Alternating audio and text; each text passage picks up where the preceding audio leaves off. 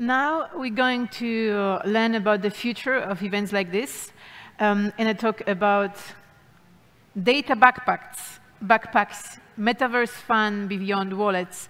And I would like to invite to the stage Evin McMillan, the founder of Disco XYZ. When she's Hi, Evin. When she's not being a founder, she's actually doing furniture upholstery. So now you've got two things to approach her about, you know, after she's speaking. Like, first is her beautiful project, and secondly, you might have some furniture to, you know, give her to, I don't know, do you take commissions? We'll see. But we are all multifaceted human beings, and I'm very excited to learn all about all of your weird fun facts, too. So thank you guys so much for being here. Thank you so much for having me. GM, GM, everybody. Are we ready to have some fun? All right, that is the energy we're looking for. Um, now, am I, okay, cool, we're on screen, we are live.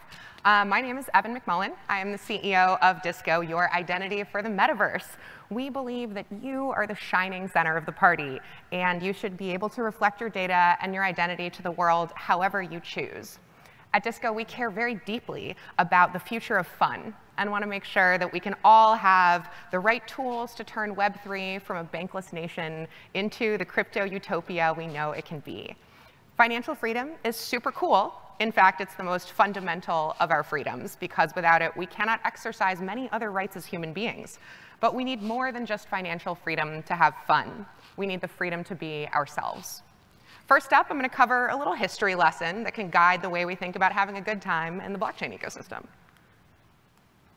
The concept of fun first appeared in the English language in the late 1600s. The French were already pretty good at having fun because they invented stuff like jousting and lace fabric. But prior to the Norman conquest of the 11th century, the concept of fun didn't even have a word in the British Isles, let alone a bunch of cool inventions dedicated specifically to enjoying oneself. William Chaucer was the first author to write about fun in the English language. Many English writers of the 14th century were consumed with more serious concepts like religion and mythology, romance.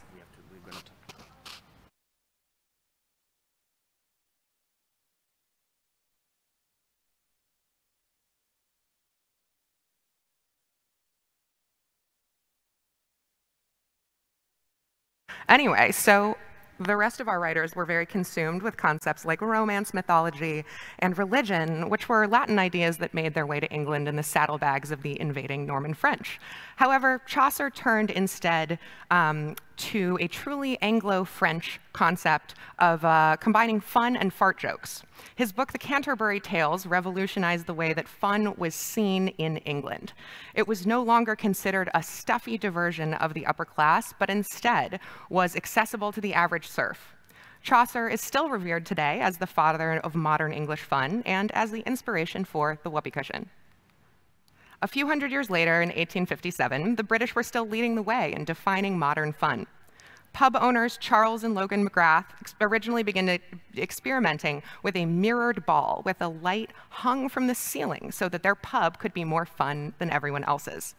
Standing around drinking in the dark isn't that cool, even when you're standing next to very expensive JPEGs, and doing the same with the lights on was also pretty lame. But this happy medium of illumination and visual delight allowed for a much more theatrical space. Across the pond, after another 60 years of evolution and homebrewed designs, uh, Louis Bernard Woeste of Newport, Kentucky, in the United States filed a patent for the myriad reflector. He had meticulously evolved the original approach into a robust design for large-scale manufacture. Unlike the mirrored spheres that we usually imagine when we say disco ball, this reflector was a 27-inch globe made with more than 1,200 handmade mirrors, glimmering and illuminated with the light from within. One small sphere, and suddenly, you had a party. The Myriad reflector was cool, but its motor and light made it pretty finicky. And so around the same time, a similar object called a mirror ball gained popularity. These spheres were covered in square mirror pieces illuminated by lights shining on them from the outside. So they got incorporated in all kinds of unexpected places, like a tuberculosis hospital, as pictured here. Today, we know disco balls is the instant mark of a dance floor, a signal that fun is afoot. I'm sure that some of you were dancing last night at the beach clubs underneath the disco ball, so please hydrate after this session. Disco balls are the shining center of the party, and when one shows up, you know you have the ingredients for a good time, and that's how Web3 should be. Just like a disco ball, you as a person are a marvelous, glittering party all your own, and you should be received in the metaverse accordingly.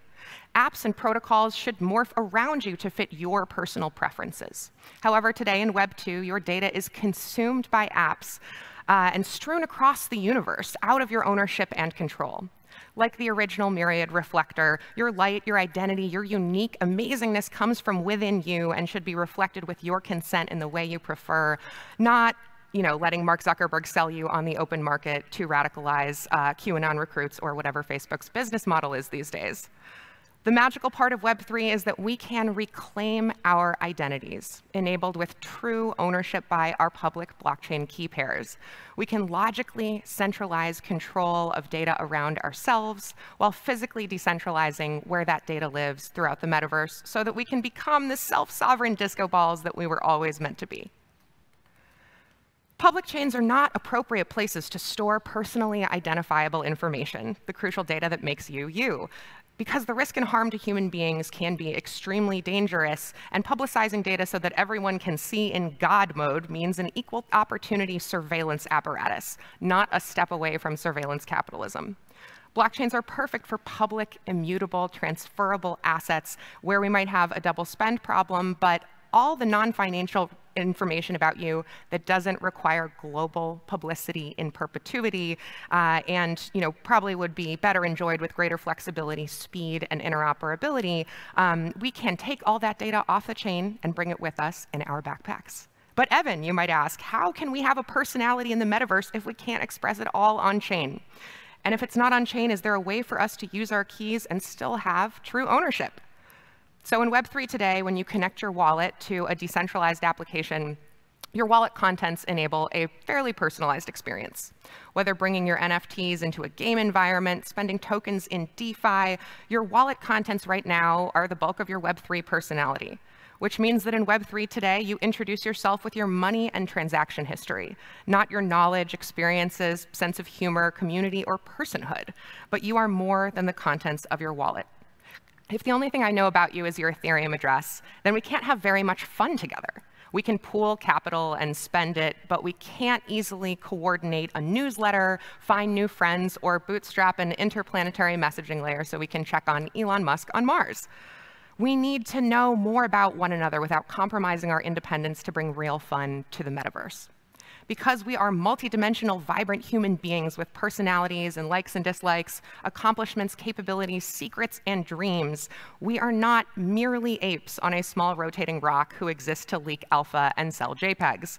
We are all that and much more. Um, so if we're going to be more than the contents of our wallet, as Tyler Durden so earnestly urged us in the movie Fight Club, we're going to need another way to introduce ourselves.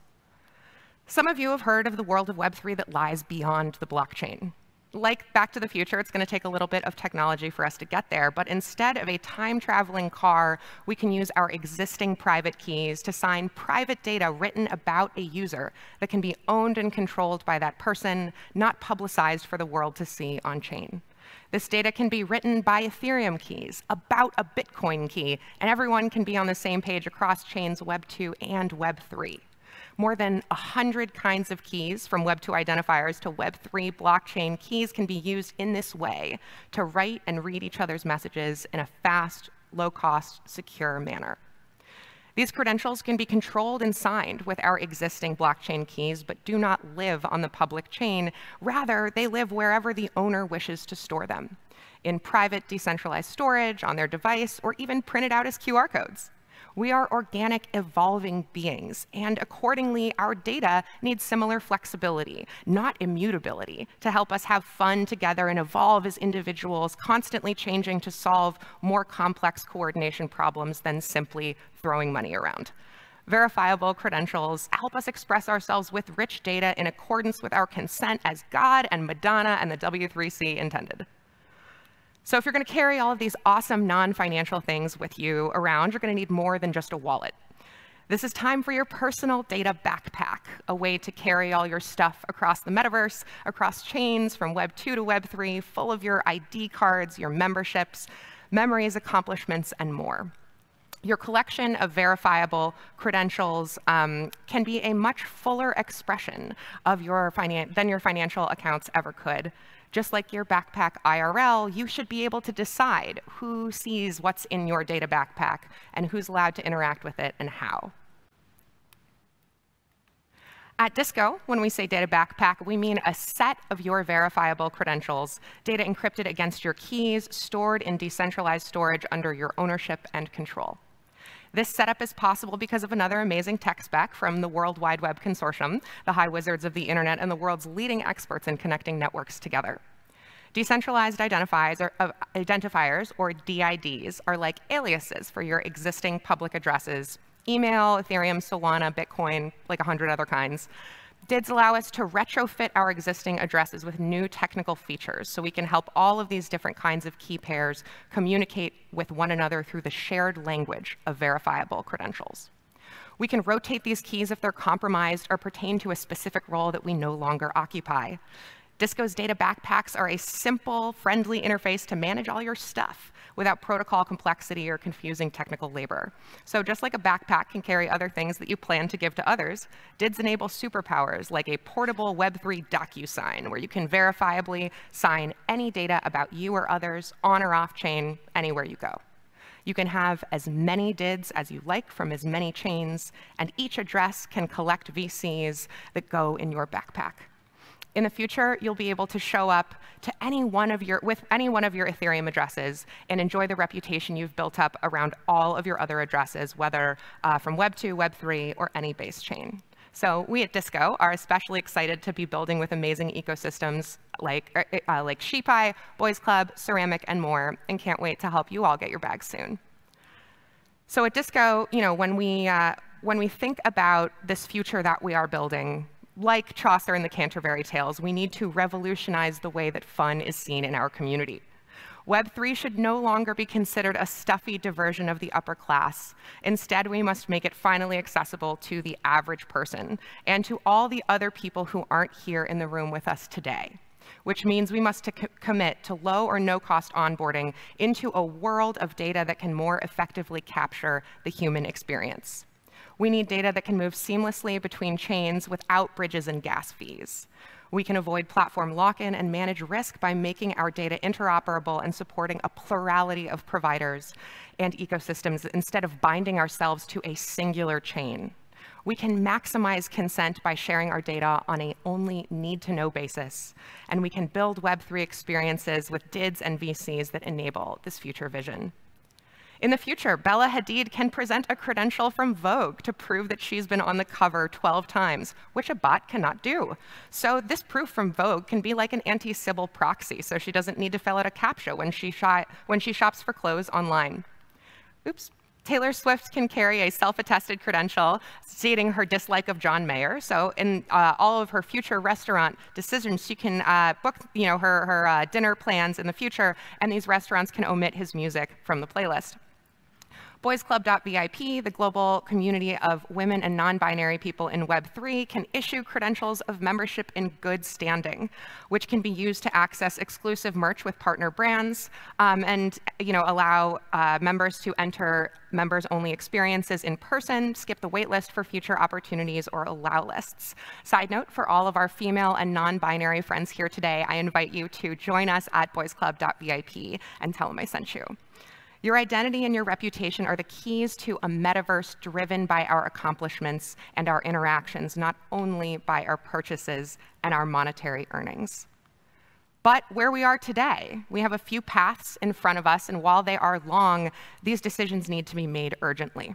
The Web3 community is starting to agree, from Ethereum to Bitcoin to even Cardano, that account abstraction is critical.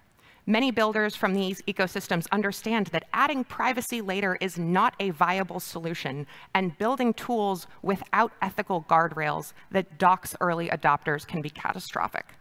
This means we have common ground ahead despite the tribalism of Web3 if multiple chain ecosystems are all excited at the same time about the same capabilities for their own communities. We might just have a winner on our hands for a rich interoperability layer through these technologies. And if you don't religiously follow Tim Berners-Lee or the W3C, you might have missed a momentous historic event last week. DIDs were basically approved to move forward as a standard, and Mr. Berners-Lee himself, daddy of the internet, struck down Google's opposition and defended the internet yet again against the forces that wish to, that wish to centralize it. So thank you all so much for joining me here today.